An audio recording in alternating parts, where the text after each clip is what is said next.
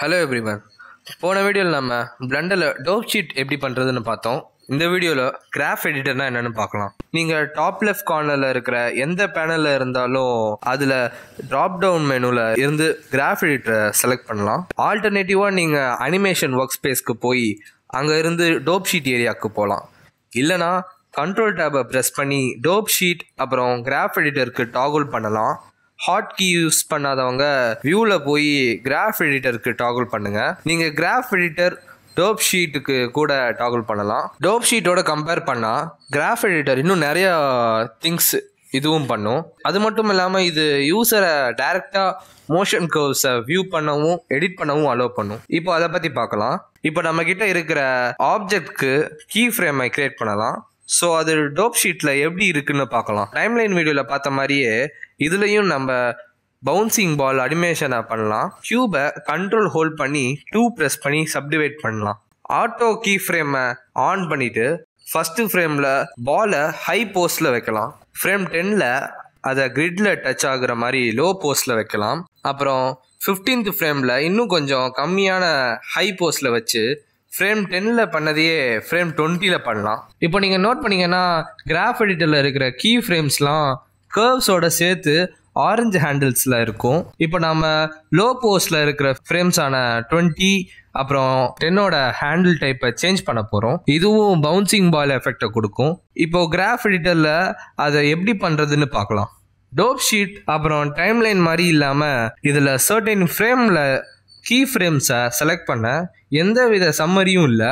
இப்போது அதே சேம் எஃபெக்டை பண்ணுறதுக்கு ஆல்ட் லெஃப்ட் கிளிக் பண்ணுங்க. அப்படி பண்ணோம்னா அது அந்த ஃப்ரேமில் வேர்ட்டிக்கலாக இருக்கிற எல்லா கீ ஃப்ரேமையும் செலக்ட் பண்ணிடும். இப்போ ஹேண்டில் டைப்பை சேஞ்ச் பண்ணுறதுக்கு கீழே போய் ஹேண்டில் டைப் அப்புறம் செலக்டிங் வெக்டாரை ப்ரெஸ் பண்ணுங்க.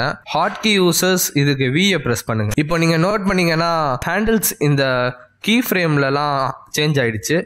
டோப் ஷீட் அப்புறம் டைம்லைன் மாதிரி இல்லைனா கிராஃப் எடிட்டர் இன்டர்போலேஷன் கர்வ்ஸை பொறுத்து சேஞ்ச் ஆகுற ஹேண்டில் டைப்ஸை அது காட்டும். இப்போ இந்த ப்ராசஸையே ஃப்ரேம் டுவெண்ட்டியில் கிளிக் பண்ணி வி ப்ரெஸ் பண்ணி வெக்டாரை செலக்ட் பண்ணுங்கள் இப்போ நம்ம பண்ணதை கன்ஃபார்ம் பண்ணிக்க ஸ்பேஸ் பார் ப்ரெஸ் பண்ணி அனிமேஷனை ப்ளே பண்ணுங்கள் இப்போ நம்ம கிராஃப் எடிட்டரில் நோட் பண்ணோம்னா அது டோப் ஷீட்டுக்கு எவ்வளோ சிமிலராக இருக்குது அண்ட் என்னெல்லாம் டிஃப்ரெண்ட்டாக இருக்குன்னு தெரியும். இப்போது உங்கள் கிராஃப் எடிட்டர் ரொம்ப ஜூமாக இருக்குது உங்களால் எதுவுமே பார்க்க முடியலன்னா சிம்பிளாக கிராஃப் எடிட்டரில் இருக்கிற ஹோமை ப்ரெஸ் பண்ணுங்கள் அப்படி இல்லைனா நீங்கள் வியூக்கு போய் அதில் வியூ ஆல் கொடுங்க. ஃபர்ஸ்ட் பார்த்தீங்கன்னா டோப் ஷீட்டில் இருக்கிற மாதிரியே தான் லெஃப்ட் ஹேண்ட் காலம்லையும் இருக்குது அந்தந்த ஸ்பெசிஃபிக் சேனல்ஸ்க்கு கீ ஃப்ரேம்ஸ் அசைன் ஆகியிருக்கு ஸோ நீங்கள் சேனல்ஸை எக்ஸ்பேண்ட் அப்புறம் கொலாப்ஸ் பண்ணலாம். அப்படி பண்ணுறதுக்கு நீங்கள் இங்கே இருக்க ஆரோ கீஸை ப்ரெஸ் பண்ணுங்க.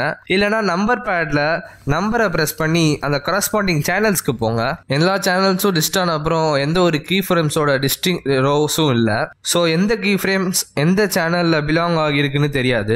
ஆல்ரெடி நம்ம டிஸ்கஸ் பண்ண மாதிரியே கீ ஃப்ரேம்ஸ் ஆரஞ்சில் இண்டிகேட் ஆகியிருக்கும். இப்போ நீங்கள் ஸ்ப்ரெட் பண்ணீங்கன்னா எந்த கீ ஃப்ரேம் எந்த கர்வ்துன்னு தெரியும். இப்போ இருக்கிற சேனலில் இருக்கிற கர்வ்ஸை லெஃப்ட் கிளிக் பண்ணி செலக்ட் பண்ணுங்கள் இப்போது செலக்ட் பண்ண கர்வ்ஸை ஐசோலேட் பண்ண சிம்பிளாக லெஃப்ட் கிளிக் பண்ணி சேனல் மெனுக்கு போய் ஹைட் அன்செலக்டட் கர்வ்ஸை கிளிக் பண்ணுங்க. ஹாட்கி யூசர்ஸ் இதுக்கு ஷிஃப்ட் ஹெச் கொடுத்து ஹைட் பண்ணலாம். இது மற்ற எல்லா கர்வ்ஸையும் ஹைட் பண்ணிடும். இப்போ அகைன் சேம் சேனல் மெனுவில் போய் ரிவீல் கர்வ்ஸை செலக்ட் பண்ணுங்க.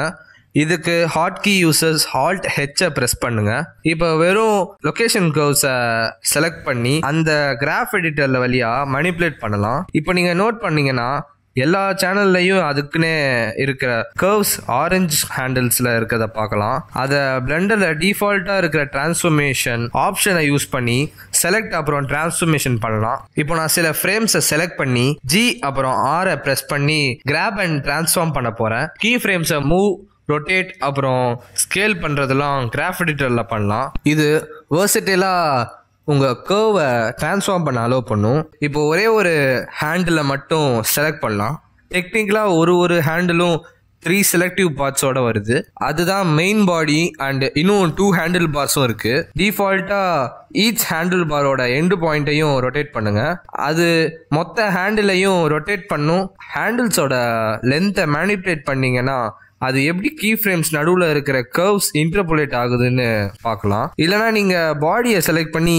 எஸ் இல்லைனா ஆரை ப்ரெஸ் பண்ணி சைமல்டேனியஸாக ஸ்கேல் அண்ட் ரொட்டேட் பண்ணலாம். ஆனால் ஹேண்டில் டிரான்ஸ்ஃபர்மேஷன் நீங்கள் யூஸ் பண்ணுற ஹேண்டில் டைப்பை பேஸ் பண்ணி தான் இருக்குது எக்ஸாம்பிளுக்கு நம்ம எக்ஸ்ட்ரீம் லோ போஸ்டில் இருக்கிறதுலாம் வெக்டார் ஹேண்டில் டைப்ஸில் அதை நம்ம ஈச் சைடில் இருந்து எடிட் பண்ணலாம். ப்ரீவியஸ் கீ ஃப்ரேம்ஸை பாயிண்ட் பண்ணி வெக்டார் ஹேண்டில் டைப்ஸை ரொட்டேட் பண்ண முடியாது. நீங்கள் ஒரு ஹேண்டில் பாரை பிரேக் பண்ணீங்கன்னா அதுதான் டிஃபால்ட் ஓரியன்டேஷன் அண்ட் அது கீ ஃப்ரேம் ஹேண்டில் டைப்பை ஃப்ரீயாக கன்வெர்ட் பண்ணிடும். ஃப்ரீனா என்னன்னா எல்லா ஹேண்டில் டைப்ஸும் ஒன்றுக்கு ஒன்று இல்லாமல் சொந்தமாக மூவ் ஆகுறது. நீங்கள் ஃப்ரீயாக மேனுவலாக கூட செட் பண்ணலாம். மற்ற ஹேண்டில் டைப்ஸை பற்றியும் நீங்கள் எக்ஸ்பிரிமெண்ட் பண்ணி பார்த்துக்கோங்க. இப்போ இன்டர்போலேஷன் நோட்ஸ்னா என்னன்னு பார்க்கலாம். இன்டர்போலேஷன் நோட்ஸ் டோப் ஷீட்லையும் டைம் லைன்லையும் ஈஸியாக சேஞ்ச் பண்ணிடலாம். அண்ட் இப்போ கிராஃப் எடிட்டரில் அது எப்படி இருக்குன்னு இப்போ பார்க்கலாம். கிராஃப் எடிட்டர் ஃபுல்லாக இன்டர்போலேஷன் கர்வ்ஸை கம்ப்ரஸ் பண்ணி தான் இருக்கிறதால ஐசோலேட்டட் கர்வ்ஸை ரொம்ப அஃபெக்ட் பண்ணும். இப்போ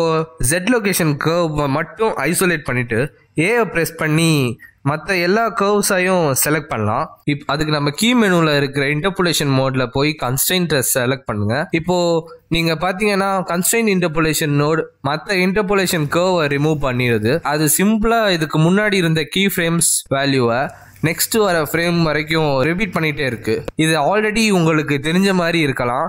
பிகாஸ் இதை நீங்கள் ஆல்ரெடி கான்ஸ்டன்டான இன்டர்புலேஷன் மோடில் பார்த்துருப்பீங்க. எந்த கர்வ் எந்த மோடில் எப்படி இருக்கும்னு இன்டர்புலேஷன் மோட் ஐக்கானை கொடுக்கும். ஸோ அதை அதை வச்சு நீங்கள் தெரிஞ்சுக்கலாம். இந்த மோட்ஸை டெஸ்ட் பண்ணி பார்த்துட்டு இன்னும் அண்டர்ஸ்டாண்ட் பண்ணிக்கோங்க. அண்டு நம்ம இப்போ அகைன் டிசைருக்கு சேஞ்ச் பண்ணலாம். இப்போ பேசிக்கான கர்வ் மேனிப்புலேஷனை பத்தி பார்த்தாச்சு. இப்போ அட்வான்ஸ்டு கர்வ் மேனிப்புலேஷனை பத்தி பார்க்கலாம். மேஷ் மாடிஃபையர் மாதிரியே தான் கர்வ் மாடிஃபையரும் இதை இன்னும் பவர்ஃபுல் நான் டிஸ்ட்ரக்டிவ் ஃபங்க்ஷன்ஸ் உங்களோட கர்வ்ஸை அட்ஜஸ்ட் பண்ணவும் ஆல்டர் பண்ணவும் ஹெல்ப் பண்ணும். இன்னும் சில கர்வ்டு மாடிஃபையர்ஸ் இருக்குது இப்போ நான் நாய்ஸ் கர்வ் மாடிஃபையரை பத்தி பார்க்கலாம். கர்வ் மாடிஃபையரை ஆட் பண்ண சிம்பிளா கிராஃப் எடிட்டர்ல ரைட் சைட்ல இருக்கிற சைட் மெனுவை ஓபன் பண்ணுங்க. அது பண்றதுக்கு நீங்க ரைட் சைடில் இருக்கிற ஆரோ ஐக்கானை ப்ரெஸ் பண்ணலாம். இல்லனா என் கீயை ப்ரெஸ் பண்ணுங்க. இப்போ ரைட் ஹேண்ட் சைடில் மெனுவில் போய் மாடிஃபை ஸ்டாப்க்கு போங்க. தென் நீங்கள் மாடிஃபை பண்ணுறதுக்கு செலக்ட் பண்ண கர்வ் இருக்குதான்னு பார்த்துக்கோங்க. இப்போ லெஃப்ட் சைடில் இருக்கிற இசட் லொக்கேஷன் சேனலை செலக்ட் பண்ணி இசட் லொக்கேஷன் கர்வை செலக்ட் பண்ணுங்க. அப்புறம் ஆட் மாடிஃபையரில் ட்ராப் டவுன் மெனுவை இருந்து நாய்ஸை செலக்ட் பண்ணுங்க. ஹாட் கீ யூசர்ஸ் இதுக்கு கிராஃப் எடிட்டர்ல ஹாவர் பண்ணி கண்ட்ரோல் ஷிஃப்டம் ப்ரெஸ் பண்ணி அந்த மெனுல இருந்து நாய்ஸை செலக்ட் பண்ணுங்க. ஆட் பண்ண உடனே நம்ம கேர்வ்ல நாய்ஸ் பேட்டர்ன் இருக்கிறத பார்க்கலாம். இப்போ நம்ம அனிமேஷனை ப்ளே பண்ணி பார்த்தோம்னா நம்ம அனிமேஷனோட டாப் லெஃப்ட் ஸ்லைட் ஷேக்னஸ் இருக்கிறத பார்க்கலாம். என்னதான் நம்ம கீ ஃப்ரேம்ஸை மூவ் இல்லைனா அட்ஜஸ்ட் பண்ணாலும் ஷேக்கிங் எஃபெக்டை கர்வ் டைனமிக்காக அட்ஜஸ்ட் பண்ணுது. மேஷ் மாடிஃபையர் மாதிரியே இதுலயும் நம்ம கேர்வ்ல எப்படி மாடிஃபையர்ஸ் அஃபெக்ட் ஆகும்னு சேஞ்ச் பண்ண செட்டிங்ஸ் இருக்குது இருக்கிற எல்லா மாடிஃபையர்ஸ்லையும் ஒரு ஒரு செட்டிங்ஸ் இருக்குது அதை எக்ஸ்பிளோர் பண்ணி பார்த்துக்கோங்க. ஆனால் பாட்டமில் இருக்கிற இந்த ரெண்டு ஆப்ஷனும் இருக்கிற எல்லா கர்வ் மாடிஃபையர்ஸ்லையும் இருக்குது எதுக்குன்னா இதுதான் மாடிஃபையரோட ஆன் அண்ட் ஆஃப் ஸ்டேட்டை அஃபெக்ட் பண்ணுது. இப்போ நம்ம ரெஸ்ட்ரிக்ட் ஃப்ரேம் ரேஞ்சை ஆப்ஷனை எக்ஸ்பேண்ட் பண்ணோம்னா அங்கே நம்ம செட் பண்ண ஸ்டார்ட் அண்ட் எண்ட் ஃப்ரேம்ஸ் இருக்கிறத பார்க்கலாம். இது கர்வில் உங்கள் மாடிஃபையர் ஸ்பெசிஃபிக் ஃப்ரேம்ஸில் அஃபெக்ட் பண்ண அலோவ் பண்ணும். அடிஷ்னலாக இன் அவுட் ஃப்ரேம்ஸ் உங்கள் மாடிஃபையரோட இன்ஃப்ளூயன்ஸை குறிப்பிட்ட ஃப்ரேமில் ஃபேட் பண்ண அலோவ் பண்ணும். எக்ஸாம்பிளுக்கு இப்போது நான் இந்த ஃபேட் வேல்யூவை டென்னுக்கு வச்சனா ஸ்க்ரப் மாடிஃபையர் பொறுமையா டென் ஃப்ரேம் வரைக்கும் ஸ்லோவா ஃபேட் ஆகும். நீங்க மேனுவலா கீ ஃப்ரேம் இன்ஃப்ளூயன்ஸ் ஸ்லைடரை அட்ஜஸ்ட் பண்ணலாம். அண்ட் அது இன்ஃப்ளூயன்ஸ்க்கு கீழே இருக்கு. இது ரெண்டு ஆப்ஷனையும் நீங்க கொலாப்ஸ் பண்ணீங்கன்னா அது டிசேபிள் பண்ணிடும். ப்ராப்பர்ட்டிஸ் எடிட்டில் இருக்கிற மேஷோட மாடிஃபையர் டேபோட ஐகான் பிரெஞ்சு அதே மாதிரி தான் கிராஃப் எடிட்டர்லையும் பிரெஞ்ச் ஐகான் கர்வ் மாடிஃபையர்ஸை ரெப்ரசென்ட் பண்ணுது. இந்த ஐகான் சேனல் நேம்ஸ்க்கு பக்கத்தில் தான் இருக்கு. உங்கள் கன்வீனியன்ஸ்க்கு ஏற்ற மாதிரி ஸ்பெசிஃபிக் கர்வ்ஸ் இதால கர்வை டாகுல் ஆன் அண்ட் ஆஃப் பண்ண முடியும். லாக் ஐகான் கர்வ்ல சேஞ்சஸ் பண்ண விடாம பண்ணும். இம்பார்ட்டன்ட் நோட் என்னன்னா டைம் லைன் அப்புறம் டோப் ஷீட்ல இருக்கிற நிறைய ஃபீச்சர்ஸ் இதுலயும் இருக்கு. எக்ஸாம்பிளுக்கு நீங்கள் கிராஃப் எடிட்டரில் மார்க்கரை ஆட் பண்ணி உங்களுக்கு வேண்டிய மாதிரி எடிட் பண்ணலாம். அண்ட் ப்ரிவ்யூ ரேஞ்சை அதே வழியாக பார்க்கலாம். இந்த வீடியோ உங்களுக்கு பிளெண்டரில் இருக்கிற கிராஃப் எடிட்டர் ஃபண்டமெண்டல்ஸை புரிய வ- வச்சிருக்கும்னு நம்புகிறேன் ஸோ நெக்ஸ்ட் வீடியோவில் ஸ்கல்ப்டிங்னா என்னன்னு பார்க்கலாம்.